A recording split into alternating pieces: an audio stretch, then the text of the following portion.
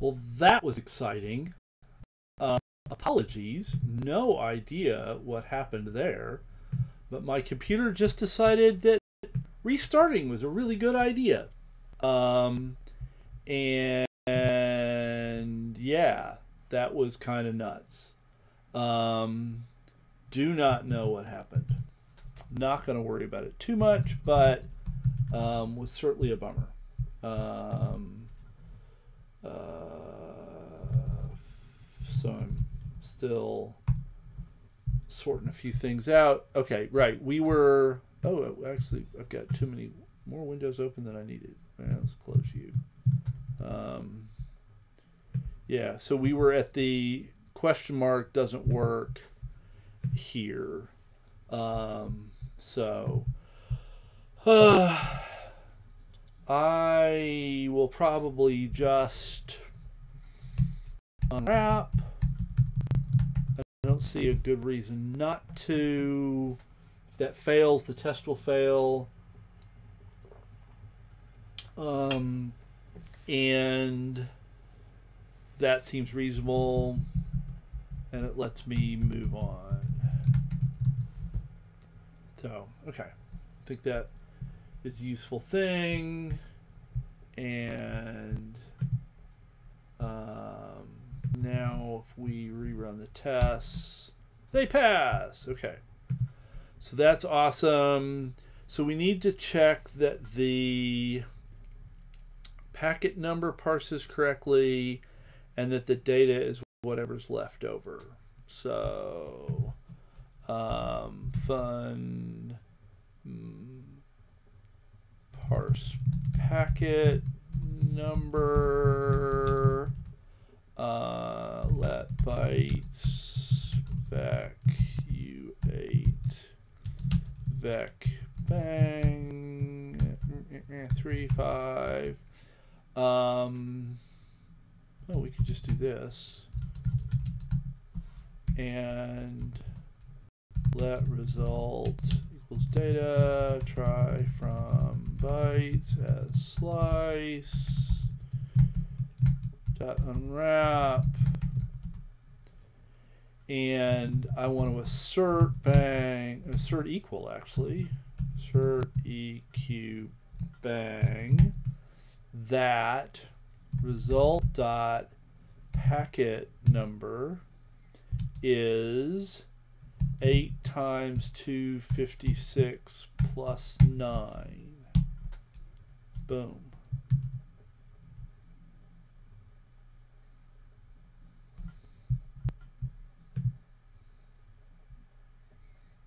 And that seems to be working. Let's run the tests over here just to be paranoid. Yep that looks good. And actually, if somebody gave me a thumbs up or something just to confirm that I I'm back and you're here and all of that, um, uh, that would be super awesome. I it looks like everything's good, but and I there seem to be people listed, but I yeah, understanding Twitch and and what it thinks is happening is always a little confusing. Um, oh, that that didn't get run because that didn't get marked as a test. So actually, my um, claim that uh, the test passed, well, wasn't wrong, but it wasn't helpful. Okay, now the test pass, and that seems to be good. Um, and so then I guess we just need to test that the data is in the data spot. Um, fn, oops, bang, not bang, octothorpe test. Um, fn uh, extract data, let bytes vec u8 vec bang three five eight nine three two zero. Um, let result data try from bytes as slice dot unwrap assert EQ bang.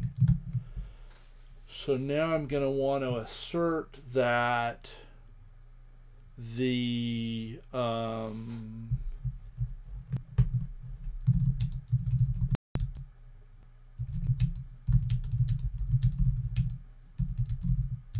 could I'm just making a note here could confirm.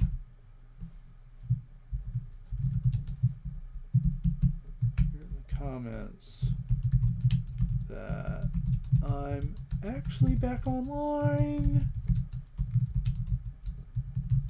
that would be great. Um, so yeah if you're if you can give me a thumbs up or something that really would be spiffy because i have no actual feedback that this is working and it makes me anxious. Um, so i want to assert that result dot data is going to be vec bang 320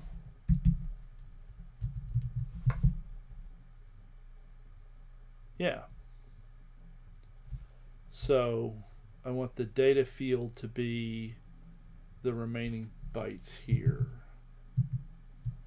Confirm that the tests all pass and they do. That's a happy thing and I have one more. So I had 16 before, I have 17 now, because, yeah, that's a lot. Okay, so that's nifty. I think we have the data, and we have checked the length. We've confirmed that it is a data packet. Um, you know, I might put a dot not here because th- this is another place where two explanation marks really isn't super helpful from a readability standpoint. Um, and then check the file ID, check the packet number. We have checked that it's whether it's the last packet and the data. I think we've done everything that I need to do here from a testing perspective. Um, and I think actually I will, if we come back up to here, I do think I'm going to put a dot not, which you said needed to be a crate uh, oh, import std ops not.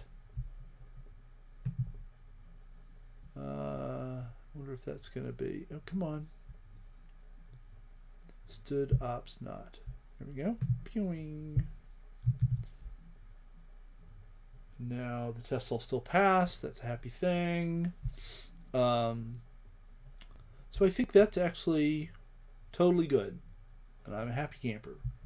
Um, so I'm going to commit what we have here. So we,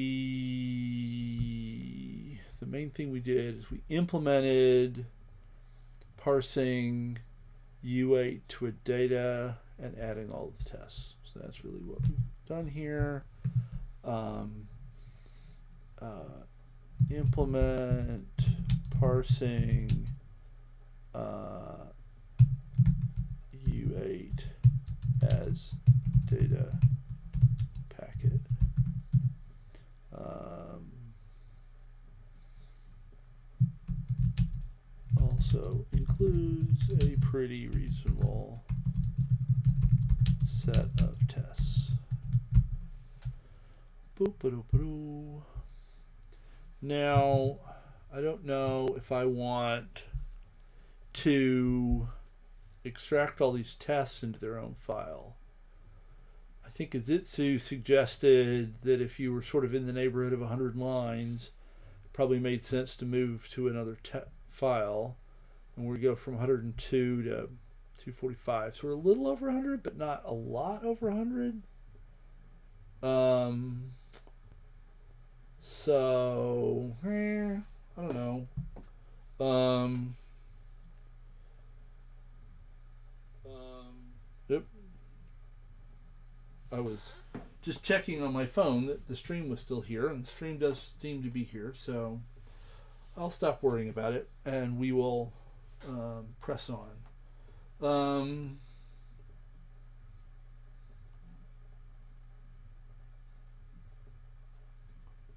yeah, I'm st- I still seem to be here. So, um, so I think that that gives us the packets. Now, we're gonna need to receive the packets and parse them into header and data packets. And then we're going to have to put them somewhere.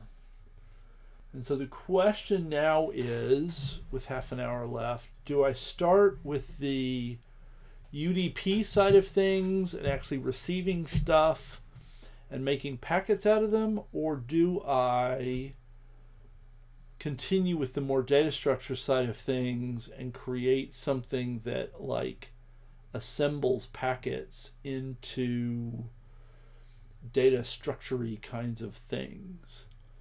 And um not sure what my best bet there is. Got half an hour. Maybe I will go ahead and hey, you're back. Uh, you missed the excitement. My computer completely crashed. Um, uh, like complete restart, and uh, um, so you're the first sign of life since I've been back on. Um, we weren't gone long, but we were gone long enough, so it was weird. Um, so I think that the the packet stuff is done, um, and if we run the tests, we've got um, pretty good tests for header and data um, packets. And so, uh, and I committed that. Um, and so now I think I was trying to decide whether it made sense to um, start with the Tokio stuff that was actually reading packets, UD, receiving UDP packets, and turning them into these kinds of packets, or focus on the data structure side of things. Um, I think I'm going to actually do um, the Tokio side of things um, in this last half hour. So I think I want to have a do something with my main and actually get the networking side of things going um, and convert a bunch of packets to packet well a bunch of things that come in to my packet data type um, and confirm that that's actually doing something. So that's, I think, where we'll head. So um, I think that somewhere here, I think I have like Tokio UDP socket. Haha, look at that. Um, so that's for being a server, and we want to be a client. So we're going to want something like this.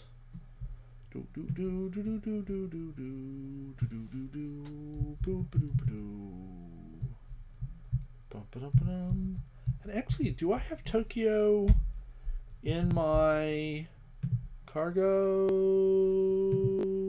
I do not. So I need to do that. Um, and am I going to need to bring in, so I'm going to have to have the net feature as well. Wah, wah, wah. Cargo.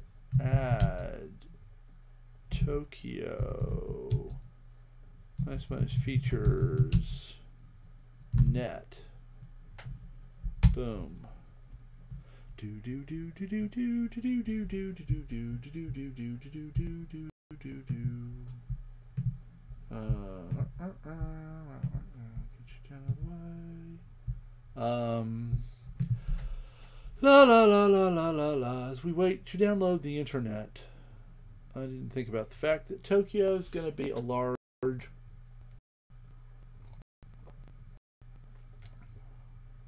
Um, could well be. Do we need multi-threaded? Actually, we're not probably doing anything multi-threaded on the client side. We could, but it's actually unless you got a lot of um, unless you had a lot of files uh, and you wanted to process them separately, then that might make sense, but I don't think we need a lot here. Um,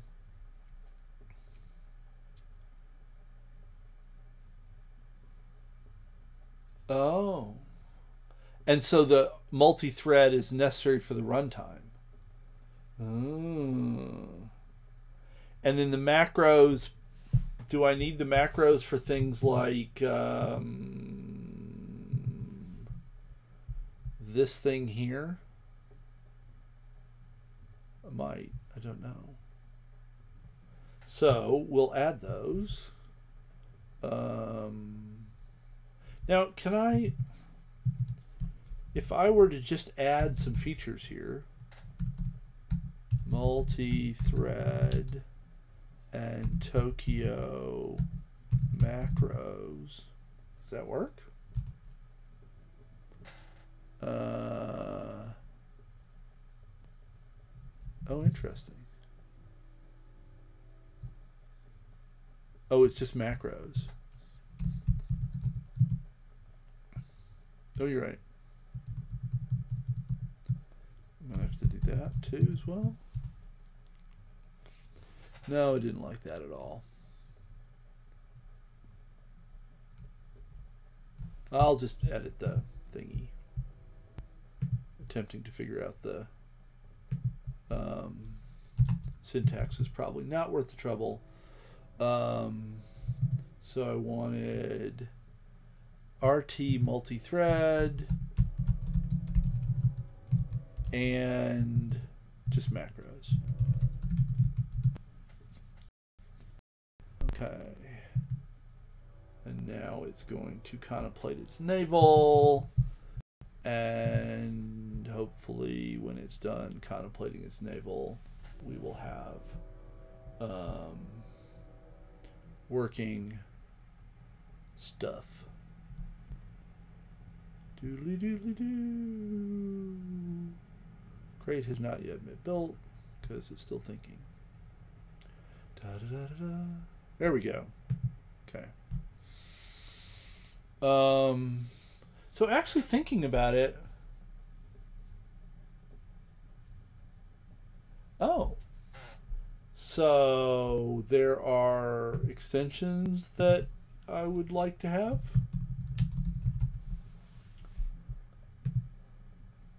Better TOML.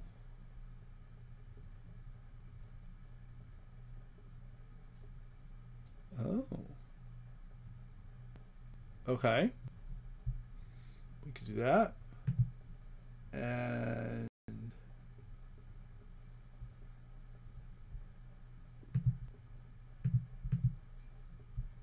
then in theory that would make doing stuff here a little better. Cool. Um, and now thinking about it, which if I'm not going to use threads, I don't really need Tokio because nothing's actually async. Although having a await, well, but this is just always going to always having a wait right after it. I don't actually need the threading stuff, arguably. Hmm.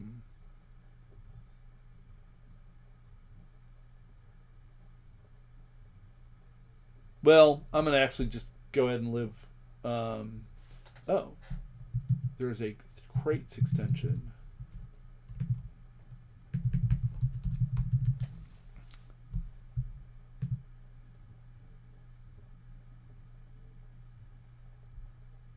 Ah. Oh, and you can choose things. Oh, that's nifty. I'll take that. Thank you. So many toys. Things to play with. Um, and so then, oh yeah, look at that.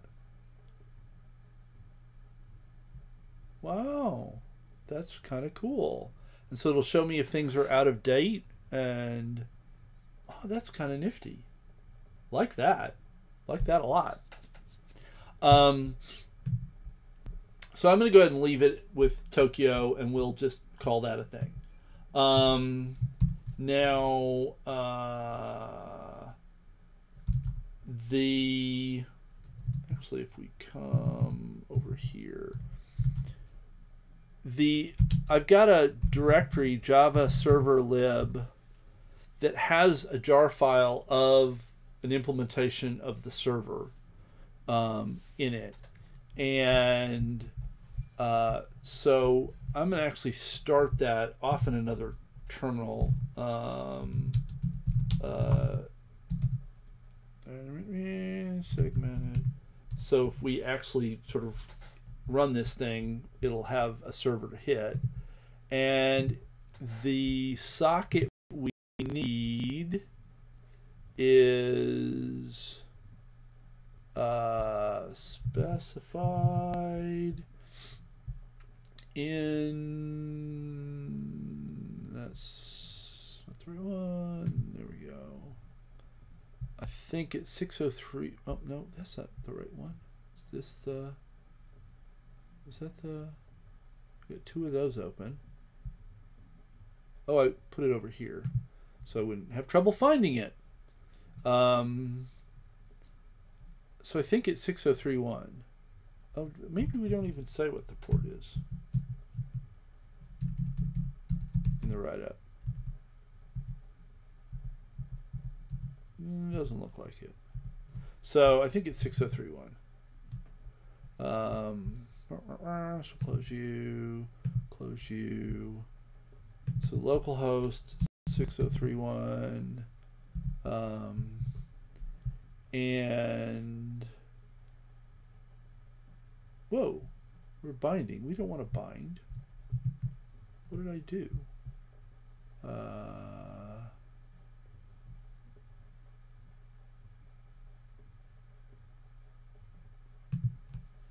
I thought we didn't do.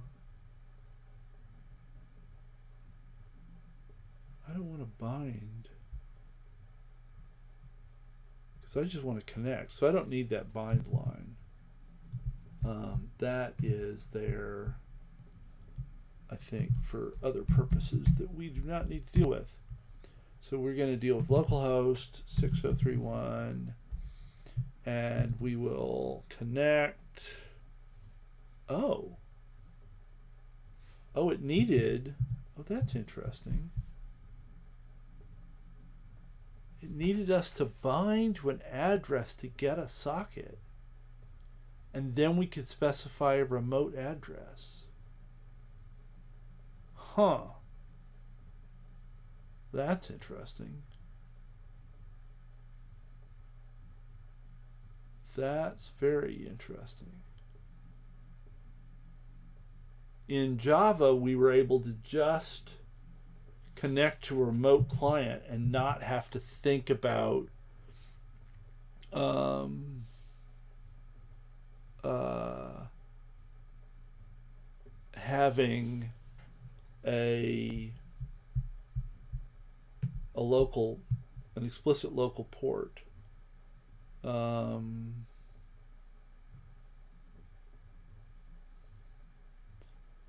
and so we're going to get a UDP socket by binding or from stood from a previously bound UDP socket or an into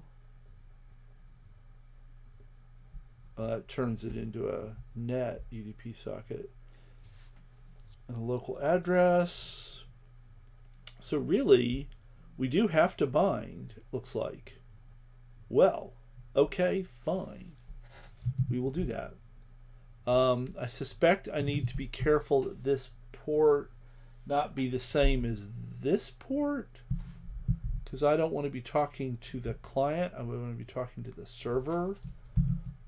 So something like that. And then remote, it's going to be 6031, no, 6013, I think. Um, so then we can connect. Our buffer is going to be 1028 because that guarantees that we have enough bytes for every kind of packet. We're going to receive uh, a packet on that socket. Len is going to tell us how many bytes we received. Um, and then this sends it back. I don't want to do that. Um, let's actually just make a packet out of that. So let's say we would say let packet equals uh,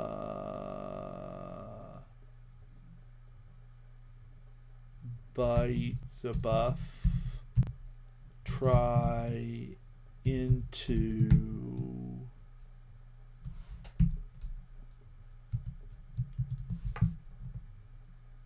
and it probably needs to import something to know what this is going to do.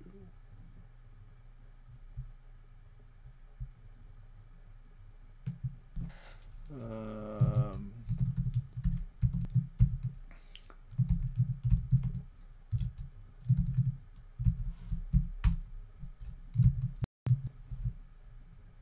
okay. Oh, yeah. Have to import things.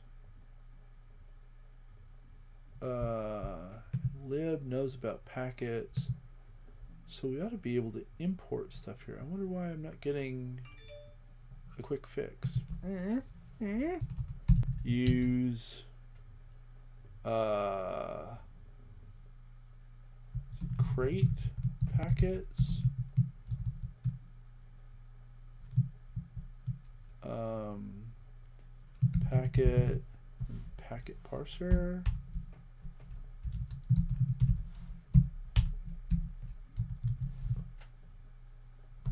Didn't like that.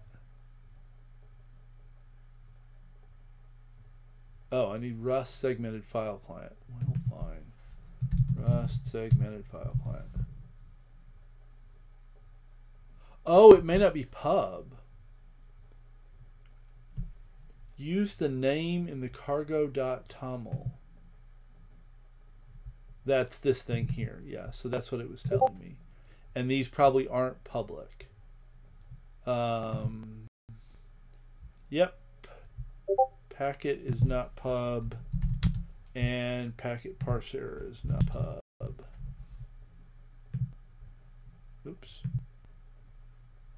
Oh, those need to be pub because we can't include them if in a pub thing if they themselves are not pub. That makes sense. Oh, no, no, no, no! come on That was not what I wanted at all. Where data go? There we go.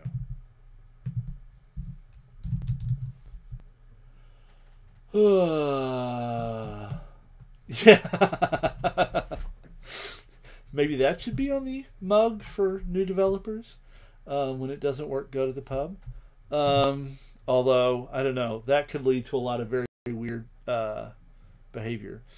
Um, so uh, that did not work.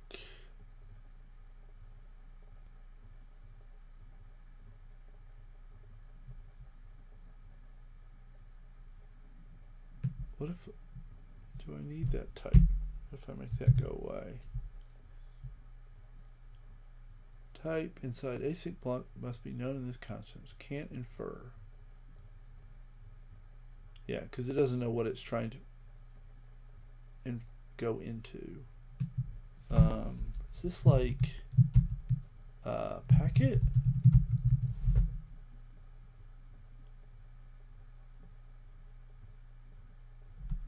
No.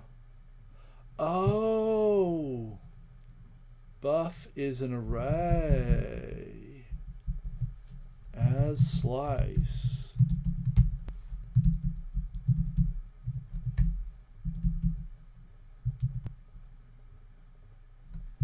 Let's get rid of that. And now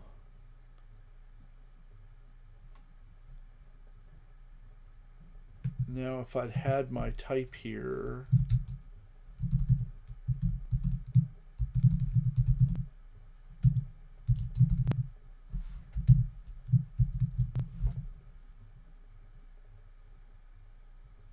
now it compiles because it knows what it's trying to make things into.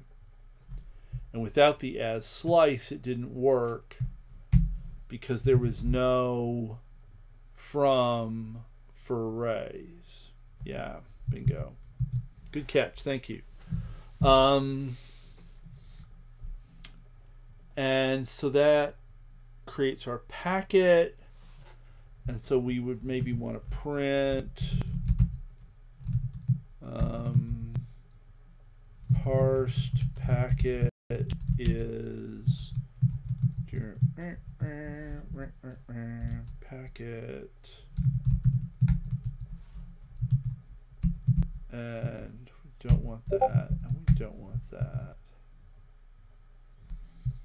And oh this would need to be unwrap or something because this is like oh it's just that packet doesn't implement debug.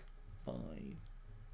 So data does and header does it's just that packet doesn't. Interesting. Um,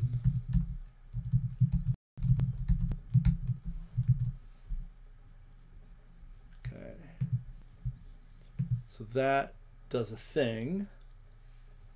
Uh, now, uh, cargo run. Oh, oh, interesting. We do have to send. I think to trigger the server to do anything, you have to send it a packet. Um, so you have to send it basically an empty packet. Oh, and um, so this is clearly just not doing anything. We also didn't get when we parsed. We didn't limit it to the right number of bytes. So we really wanted to say only do those bytes. Um, otherwise, we were sending the entire buffer in, and we would be parsing stuff we didn't need. Um, so I think before this loop, we have to send a message, and there was an example of sending a message. Um, right uh, here. So before we do anything, so after we've connected, oh, and actually we're going to want that buffer. We are going to send uh, our buffer we can say we'll send the whole thing. We don't really care. Um, and we don't care about the response. We're just the server once it receives something, it triggers it to fly everything off. Oh, and I don't need as slice if I do that thing because that will force the conversion to a slice. Ah, yeah, that's cool. Um, uh, that's good. I like that. Um, so now I think maybe if we run connection refused. Weird. So we didn't get a connection refused before. So until I tried to actually send something, it didn't actually fuss at us. Huh. Um. Am I remembering the port number correctly? That's a great question. Um, that uh, you don't want to wrestle with. Um, da, da, da, Can I find the solution quickly, or should we just call it quits?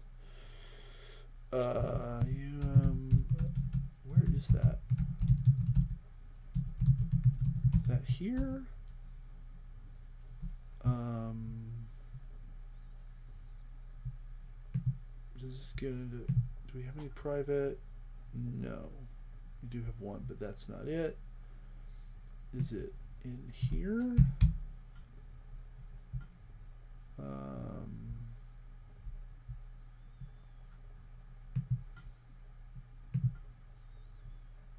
aha. So that I think we'll have the port number. Oh, this is no. This is client Echo client server. Not what I wanted at all. I wanted. Hmm. No, okay, we should stop. Um, I need to figure out what port that thing's running on, and we're five minutes away from the end. So I think quitting here, I think this is probably mostly right, and I think I probably just need to get the connectivity sorted out properly. Um, and uh, then we ought to be able to move forward. Um, and we're probably maybe only one session away from having this done actually because if this is in fact mostly correct it's really just a matter of the bookkeeping of the packets as they come in which really isn't that big a deal um, need some sort of map from file id to the packets that will be part of that file and some way of sorting the packets and then writing them out to a file. I don't think that's all that hard. So maybe two sessions at most um, to finish this. That'd be kind of cool. So um, it is five minutes before the end of today's time. Um, I want to. Oops, I didn't mean to do that. Ah! Oh, stop it. Um, thank everybody, obviously, for being here. As always, it is awesome and wonderful. Um, a reminder of the calendar situation because it's chaotic at best. So there will be no streams Saturday, which I'm very sad about. Um, but got obligations um, and I will be uh, at the West Central Climate Network meeting in the morning, and then uh, the local Prairie Light Film Festival starts on Friday, and I'll be going to see um, some shorts by a local filmmaker um, Saturday afternoon, so that's going to block that. Um, I should um, have. Uh, we should have the regular Tuesday and Wednesday and Wednesday streams next week, but no Saturday streams on 8 Oct. Um, so maybe I'll try to squeeze in some one offs next week, like I did this week, to help make up for the fact that we'll have two no Saturday streams this weekend and next weekend. Um, because then there'll be a basically a two week vacation, and I won't be here, and I will miss you. You're all wonderful people, but um, I'm gonna go see my family, and it'll be very nice, and I will enjoy it. Um, so uh, and I'll probably think too much about programming while I'm there because I'm kind of obsessive that way. So, uh, thank you all for being here. Oh, and I guess um, let me use the Discord um, uh, URL uh, in case you want to do that. Um, uh, and I'll answer that question in just a second, Dio Solios. Um, Twitter, Nic McPhee. Um, and yeah, that's probably the main things.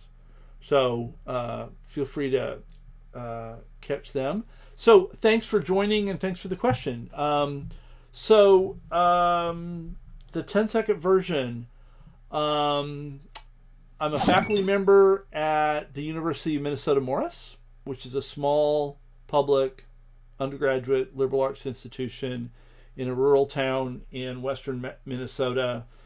Um, and yeah, we're a long way from everything. Um, we're like 45 minutes from a freeway or a motorway um, in European terms, um, and three hours from an airport. And yeah, uh, school we got about 1,500 students, um, three and a half computer science faculty. We graduate 20 to 25 computer science students a year. Um, and I teach a little of everything um, because it's a small program. Everybody teaches a little of everything. Um, I am on sabbatical this year, so I'm not teaching classes. And uh, we had originally planned to go to Europe um, and um, do research with some people there. COVID complicated the world. That didn't happen. Um, so we're still at home. And um, I think it's a great little college. I've been there for 30, this is 30, my 31st year at Morris. Um, so I've been very happy. We weren't at all sure what we were getting to getting into when we moved here in 1991, um, but we're still here and we're still liking it. So um, I will presumably retire here. Um, so we stayed home for sabbatical, and um, I have declared this my year of programming, where I'm going to instead of doing more traditional research put a lot of my energy into uh, expanding my programming skills and um, taking the time to learn some things that I've felt like I needed to know but didn't have time to learn. Um, and one of those was Rust. So uh, I've seen enough about Rust over the last few years to convince me that it was something I needed to probably learn, um, or and wanted to learn. Like it had properties that interested me, um, and um, so I've been using this is a chance to learn Rust. And rather than just sit at home and program on my own, I decided to also experiment with programming live in front of you wonderful people um, because uh, it helps hold me. Well, I really I did it at first. I think mostly because it helps hold me accountable. It gives me a schedule and says, okay, you know, you need to do this. Um, in practice, actually, it has done that absolutely, but meeting cool people and getting feedback and advice and suggestions, corrections when I'm stuck, that's been really cool. I've really, really enjoyed that a lot. Um, and I've gotten a lot of, you know, really helpful um, stuff from folks here. Um, and I absolutely uh, appreciate all the um, help and suggestions and feedback and ideas um, that folks have shared here. Um, this is where all the past stream videos are. If you're really bored and want to go back through the history, uh, can't imagine it's the best way to spend your time, but hey, if it makes you happy, um, it's there. So this was episode 37, um, and they've all been two hour episodes. So there's 74 hours of me programming. Um, I started by doing the rustling exercises. Um, which I highly recommend if you're in, if you want to learn Rust. I found the rustling exercises to be super useful. Um, uh, Rust, Rustlings. Um, yeah, these are. I found those to be really, really helpful. And the first few streams are me going through those, and it's like, whoa, so many things I don't know. And people like Izitsu and Wagafa were like hugely helpful um, uh, in getting me sorted through those. Um, and then once I finished those, I've been building three different apps uh, a web app using Rust and the Yew um, uh, library, which is kind of like React. Um, so I'm building an app, a web app that way. I'm doing systems labs things that would be connected to our systems course. Um, uh, and um, uh, also doing an evolutionary computation, uh, implementing a simple genetic algorithm in Rust, because I want to do comparisons between Rust and um, Clojure so I've, my research is in evolutionary computation. I have been doing that mostly in Clojure for the past decade ish. And I think Rust is going to be a whole lot faster. Um, and but I want to see what you know it's how much less flexible it is. Um, the lack of any typing system in Lisp slash Clojure makes it a lot easier to crank some stuff out, but I think the runtime really is suffering. Um, so I'm wanting to be able to compare those things. Some early results suggest Rust is something like a hundred times, and I mean that literally, a hundred times faster than the um, uh, Clojure version of more or less the same thing. Um, we'll see if that scales uh, to more interesting problems or gets you know closer or farther apart. Um, so I'm doing that. So those are the three main apps that I'm working on at the moment. Um, and you showed up just the you know when things are getting really kind of confusing um, because I am going to be taking a two week vacation. Um, uh, and there's a bunch of rescheduling going on this week and next week because of various events happening. Um, I have taught a little tiny bit of Rust in the past. So, in the systems lab course that we have, that programming has mostly been shell scripting, C, and Java. Um, and starting a couple of years ago, I added a really simple, like, hey, Rust is a thing, and we probably ought to know it more than we do and be using it more than we are, but I don't know it well enough to write like a really good lab in it. Um, so we've had a little bit of Rust in that one place so that students at least know that it exists. But part of the point of this was to figure out like, is this something we should be teaching more seriously? Where should we be teaching it in the curriculum? I certainly at this point wouldn't start with Rust. I think that would be a little overwhelming. Um, but where does it sit in our curriculum? Um, and uh, should we be rewriting some of these labs? Like right now, the lab I was working on today, the students write that in Java. Well, should they write it in Rust instead? Um, I think is a really interesting question. And if they do, what does that look like? How much help do we give them? How much structure, um, uh, you know, do we provide? Yeah. So there's a, a I need to write it myself first to get a sense of like how complicated it is and and how we would want to structure the write up. Um, uh, uh, actually, I like bias. Bias is fine as long as everybody's honest and upfront about it. I don't have a problem with bias. Um, uh, so I would love to have your opinion. Um, uh, so those are the kinds of questions um, that I'm I'm hoping to become informed enough to have reasonable answers to um, by doing this. Um, and I think I feel like there's just a lot of evidence that Rust or Rust-like things um,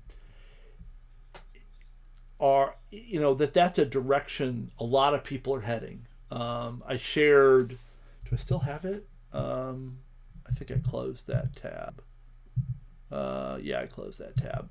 Um, but uh, yeah, in a stream yesterday, I just um, the one of the head engineers at Volvo was like, "Yeah, we should be using Rust instead of C and C++ for new projects," and it was like, "Okay, um, that's you know, I think you're seeing a lot of that. Um, and I think we're moving in that kind of direction. And that the students, it would be to their advantage to have experience with Rust um, because of that. And even if in the end Rust doesn't say win the day, maybe 10 years from now there's a, a even better thing, whatever that looks like. I bet a lot of the ideas in Rust, especially I think the borrowing and ownership questions. Um, uh, yeah, I, I mean, I think you're seeing a huge move to replace things with Rust, and the performance of those things is really impressive. So things like FD, which is a Rust replacement for find, and oh, there's there's a bunch of that kind of stuff, um, and those things fly. I mean, they're really fast. Um, and it's sort of like, well, hmm. And I think that um, I think one thing that Rust has going for it that's a, another huge win over, say, C, C++, is that Rust was built with threading and multi-core systems and parallelism in mind from the beginning. And I think these older languages where that was an afterthought in some ways just aren't just make it really hard to write that sort of code and as we you know even our phones have multiple cores now being able to write um, code that uses um, the hardware that we're building in a way that's safe and reliable i think is like super important um, and I think Rust uh, has a, a large role to play there as well. I think other languages like Go also do that in a very different way, but um, I think there's a lot of nice things there. But um, uh, I think that the memory management side of Rust is just super interesting. And um, I think I said this in some previous uh, stream, but I think that Rust forces me to think in terms of computer science more than any other language that I've ever worked with. I think languages like Clojure and Haskell are great and make me think like a mathematician, but not really like a computer scientist. You're you're separated so far from the hardware that it really is kind of an applied math exercise, which is fine. I, I was a math major as an undergraduate. I love that. Um, and but I think Rust is interesting because it forces me to think in terms of computing in sophisticated and interesting ways and not in sort of gory icky ways. Like it's not like i i never liked c very much especially the low level parts of c. The fact that i could just like write a zero to some random piece of memory and watch the world explode was like oh really? Come on that doesn't seem good. Um and rust the like the borrow, borrowing and ownership ideas seem to be much more about computer science and the scientific ideas in the programming languages space but that we're still connected to the machine there is the idea that there's an actual piece of hardware underneath that's doing this stuff um, so I think it's really interesting, and, and I, I'm certainly learning a ton. I mean, I've now been doing this Rust year of programming thing for four months um, with gaps um, now and then, but four months, and I've learned a ton, and I really like it. I am not enamored of every feature of Rust. There are parts of Rust that I still find annoying and confusing. Um, but I think that in general, uh, I think it's definitely headed in the right direction. And I'm really glad I'm learning it. And I think my students would benefit from knowing more about it.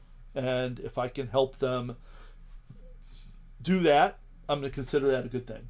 So, um, that was a long, rambly answer. I hope that helped. Um, uh, I should probably wrap up here and let everybody go. And I'm going to go finish putting a couple of plants in the ground um, and sift some compost because that's the other thing. Oh, and then I think I have to build some shelves. I think that's on my list of things to do today.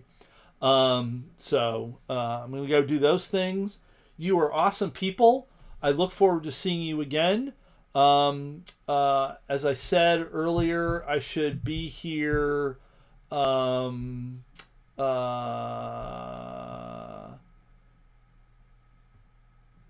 I will not have any streams on Saturday, but we should have streams Tuesday and Wednesday of next week. Um, and I might try to like squeeze in another stream or two um, to make up for all the lost streams before we take the two week vacation. Um, but I'll try to keep things posted on the Discord. Um, yeah, Discord and on the Twitters and on my schedule here on Twitch. So check those places and uh, hopefully it'll work out. So um, thanks a lot, everybody. It's been wonderful, and I will see folks later. Ciao.